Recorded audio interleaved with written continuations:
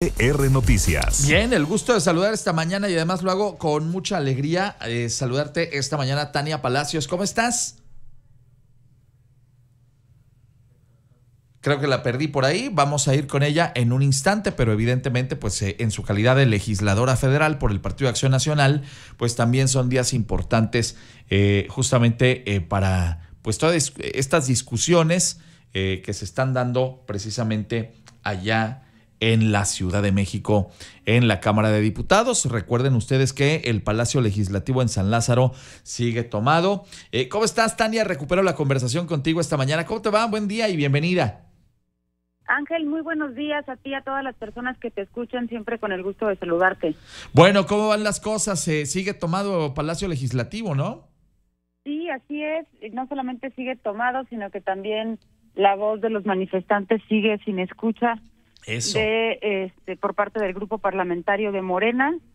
Es de verdad un momento crucial en la vida de México el que estamos viviendo, un un peldaño democrático muy importante, algo que no se vivía desde el 94, antes del 94, cuando veíamos esos esbozos que de la Suprema Corte de Justicia de la Nación, que era un apéndice del, del Poder Ejecutivo, y bueno, pues ahora, después de una larga sesión, donde sin duda te puedo decir que la, la oposición ganó el debate, no ganamos la, la votación, evidentemente porque la, la, la mayoría calificada con la que cuenta Morena, pues no lo permitió, pero después de 17 horas de, de estar eh, en esta en esta sesión, pues sí te puedo decir que, que ganamos un, un debate que, que sin duda hoy debe de ser una preocupación a nivel nacional, hablando de la reforma judicial. Y bueno, pues efectivamente el, el, eh, eh, eh, generar eh, precisamente conversación, debate, ideas y que se les permita a todos eh, ejercer su punto de vista debería ser pues eh, el- una de las eh, vocaciones fundamentales dentro del Congreso, pero pues es evidente que han cerrado los oídos y las puertas a que otros grupos y otros, eh, otras eh, maneras de pensamiento puedan ejercer también su punto de vista. Ahí está el caso de los estudiantes que de ninguna manera les han permitido pues dar a conocer su punto de vista y que me parece que es muy muy lógico el entender su preocupación, sobre todo en esta reforma que ya pues mayoritearon ahí la, la aplanadora aceitadita de la 4T en Cámara de Diputados y que ahora pues vamos a ver qué pasa en el, en el Senado. eh, eh, pero pues los, los chavos que están estudiando las diferentes carreras asociadas a este tema de, de la Procuración de Justicia, particularmente el derecho, dicen, pues ¿y ahora qué vamos a hacer? Nos cambiaste la, juzga- la jugada al 100%, pero no los han dejado hablar, Tania. Correcto, nosotros tuvimos comunicación justamente con un grupo de, jóvenes estudiantes de distintas universidades ahí en Ciudad de México, les dimos por supuesto un espacio para poder escucharlos. También te cuento una anécdota antes de entrar a la sede alterna donde tuvimos que sesionar por eh, decisión unilateral de Morena. Eh, cuando llegamos también estaba había una cadena humana de, de distintos manifestantes, algunos trabajadores del Poder Judicial, que tampoco nos estaban permitiendo el acceso a nosotros. Hablo de algunos compañeros del grupo parlamentario del Partido Acción Nacional. Y cuando entramos, pues platicamos con ellos, les comentamos de eh, quiénes éramos, eh, les pedimos que nos dieran acceso. Al principio se mostraron incrédulos y lo que yo tuve que hacer como, ahora sí que como mecanismo emergente fue decirles, de, permítanme enseñarles los puntos que traigo para, para mi posicionamiento para que me dejen defenderlos.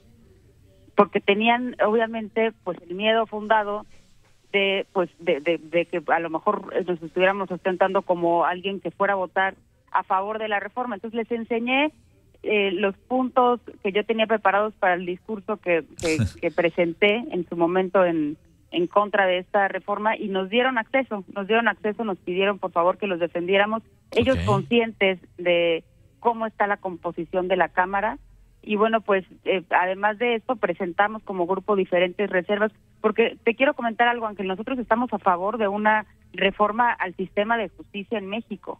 Sabemos que existen muchos retos, uno de ellos es, por ejemplo, el número insuficiente de jueces por cada 100.000 habitantes. Ya Naciones Unidas ha dicho que tiene que ser 64, 64 jueces por cada 100.000 habitantes y en México solo contamos con cuatro juzgadores por cada 100.000 habitantes.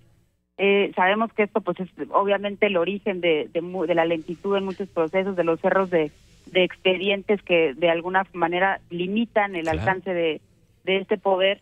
Pero pues yo siempre he dicho que cuando existe alguna deficiencia en un cuerpo humano, digamos, por ejemplo, si tenemos un enfermo con cáncer, pues no matas al enfermo. Pues no. Atacas, atacas justamente el padecimiento que tiene. Y hoy, pues, este, estamos en esta, en esta lucha. Efectivamente, como dijiste al principio, la Cámara sigue tomada. Está ahora en la cancha de los senadores, en donde pues tendrán la gran responsabilidad de, de poder dar frente a, esta situación. Nosotros presentamos muchas reservas, ninguna fue aprobada evidentemente y pues una de ellas justamente era dotar, por ejemplo, del presupuesto suficiente al Poder Judicial dotar dotarlos de herramientas. Este, nosotros propusimos que fuera el 1% del presupuesto de egresos de la Federación, porque además México es un país que incluso en el 2021 registró el menor gasto en el sistema de justicia y seguridad pública en comparación con otras naciones miembros de la OCDE. Entonces creo que hay muchas áreas de oportunidad, pero hoy más que nunca, pues los ciudadanos tienen, tienen que estar empapados de lo que está pasando en México porque es un, un hecho que va, va a marcar un antes y un después del México como lo conocemos. Bueno, pues eh, ojalá que sea así. Sí, la verdad es que pues es lamentable que no se haya permitido esta eh, exposición de ideas porque claro que hay muchas preocupaciones en diferentes sectores por lo que puede arrojar esta propuesta de reforma al, Poder Judicial. Como bien dices, yo creo que yo de toda la gente con la que he platicado y que más o menos está enterada del tema, eh, todo el mundo coincide en que es necesarísima esta reforma al Poder Judicial pero no en los términos en los que se ha dado y mucho menos de esta manera tan apresurada, sin poder discutir, sin poder sentarse a definir cuáles esquemas podrían ser los mejores para, pues obviamente, eh, eh, acelerar esta procuración de justicia en el país que pues es uno de los grandes quebraderos de cabeza para miles de personas, caer en una circunstancia eh, donde precisas obviamente de, de, pues justicia, es pues aventarte un viacrucis y en el caso de quienes han sido privados de su libertad ante una circunstancia de estas, pues sabemos que hay miles y miles de personas que están metidas ahí en la cárcel sin haber recibido una sentencia por estos rezagos y hoyos negros que hay dentro del Poder Judicial. Pero bueno, pues ni hablar, vamos a estar muy pendientes de este tema. Oye, Tania, quiero aprovechar para que pedirte una cosa, que nos invites a tu, a tu casa de gestión. ¿Dónde está ubicada? Claro que sí, con mucho gusto. Te comparto que estamos todavía en proceso de, definir los puntos, no será nada más un punto, estamos buscando eh, extenderlo y también estaremos actualizando mecanismos de comunicación con los ciudadanos. Los invitamos ahí, por supuesto, en cuanto estemos en condiciones, invitarlos a la Cámara para que conozcan el lugar donde, donde se toman decisiones importantes para, para el país. Oye, sensacional. Y por lo pronto, ¿dónde puedo seguirte, Tania? Yo les pediría que me contacten a través de redes sociales.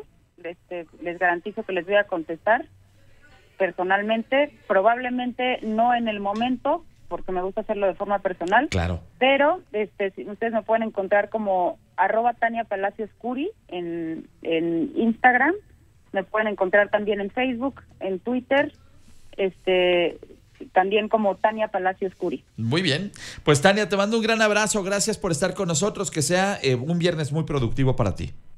Muchas gracias, Ángel. Saludos a ti y a todas las personas que te escuchan. Que tengan muy bonito día. Un abrazo y mucho éxito. Les ha acompañado la diputada federal por el Partido Acción Nacional, Tania Palacios Curi. Son las 8 con 37. ¿Tienes una pyme y te interesa hacerla crecer? Te recomiendo